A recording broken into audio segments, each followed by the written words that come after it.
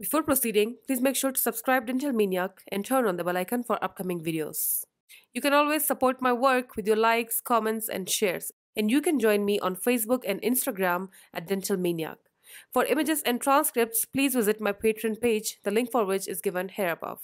The term oral submucous fibrosis derives from oral meaning mouth, submucosal meaning below the mucosa of the mouth, and fibrosis meaning hardening and scarring, all shown here in this close-up view of the buccal mucosa.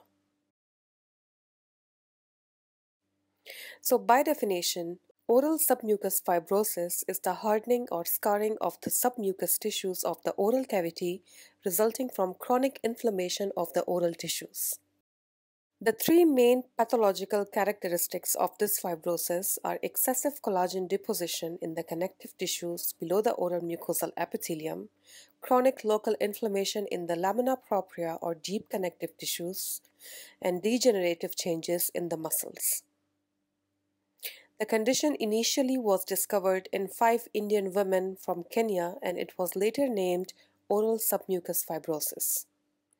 The condition is well recognized due to its malignant potential as it contributes significantly to mortality. The chronic inflammation of submucosal tissues leading to the irritation of the oral mucosa and subsequent fibrosis has multifactorial causes, which include betel quid chewing, frequent chili ingestion, genetics, immunologic processes, and nutritional deficiencies. Chewing betel quid, which is a common habit in Southeast Asia and India, is considered the primary cause of oral submucous fibrosis.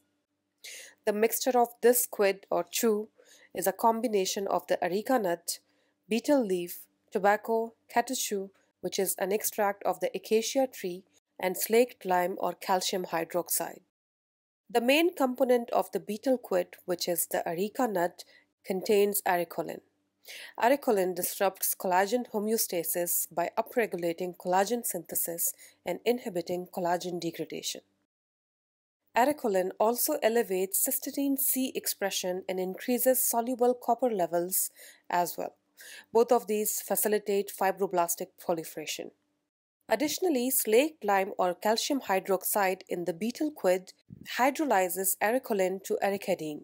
Arecaidine facilitates fibroblastic proliferation and increases collagen formation.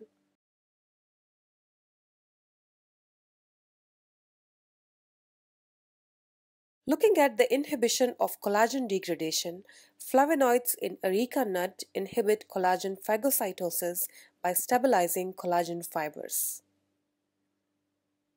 Also, localized mucosal inflammation, which is induced by betel nut, recruits immune cells and increases cytokines and tumor growth factor beta, which in turn increases collagen production by activating pro-collagen genes. Tumor growth factor beta also impedes collagen degradation by activating the tissue inhibitor of the matrix metalloproteinase gene and the plasminogen activator inhibitor. Overall, components of the betel nut significantly contribute to collagen production and maintenance, resulting in oral submucous fibrosis. The histopathology of oral submucous fibrosis comprises various epithelial alterations, including alterations in rete peg shapes and subepithelial deposition of dense bands of collagen fibers. At different stages of the disease, epithelial alterations can vary from atrophy with hypoplasia to hyperplasia or dysplasia. Looking at the epidemiology, the worldwide estimates of oral submucous fibrosis indicate that 2.5 million people are affected, with most cases concentrated on the Indian subcontinent, especially southern India. In India, it is widely prevalent in all age groups and across all socio-economic strata. The condition is even prevalent among teenagers in India. The male to female ratio of oral submucous fibrosis varies by region. In India, oral submucous fibrosis occurs more often in women than men, but the opposite is true for other regions. Oral submucous fibrosis also occurs in other parts of Asia and the Pacific Islands. The migration of endemic betel quid chewers has also made oral submucous fibrosis a public health issue in many parts of the world, including the United Kingdom, South Africa, and many Southeast Asian countries. Overall, throughout the globe, the patient's age ranges 20 to 40 years. Looking at the clinical presentation of the condition, Oral submucous fibrosis results in marked rigidity and an eventual inability to open the mouth. The buccal mucosa is the most commonly involved site. With any part of the oral cavity, even the pharynx can be involved. Patients experience a severe burning sensation in the mouth after ingesting spicy foods. Other symptoms of oral submucous fibrosis include dry mouth, pain, taste disorders, restricted tongue mobility, trismus, dysphagia, and altered tone. Because of the progressive inability to open one's mouth, it results in difficulty eating and consequent nutritional deficiencies, hence increasing the mortality rates. Patients with oral submucous fibrosis have an increased risk of developing oral cancer. The malignant potential and the origin of cancer are attributed to the generalized epithelial atrophy associated with oral submucous fibrosis and has a significant mortality rate of 7.6%. Ending this video with the treatment, oral submucous fibrosis is irreversible, with no effective treatment available.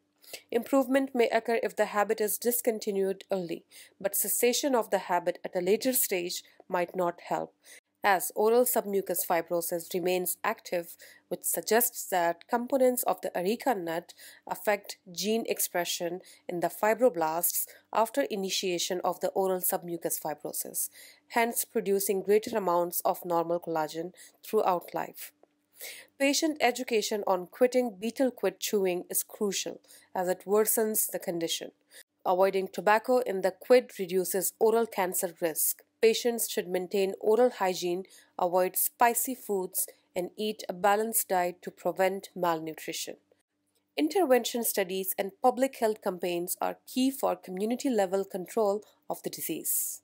I hope this video helps. If you think this video has really helped you, please hit the like button, share the video ahead. If you have got any questions or suggestions, you may write them down in the comment section below. Last but not the least, do hit the subscribe button and turn on the bell icon so that you get notifications each time a new video is uploaded.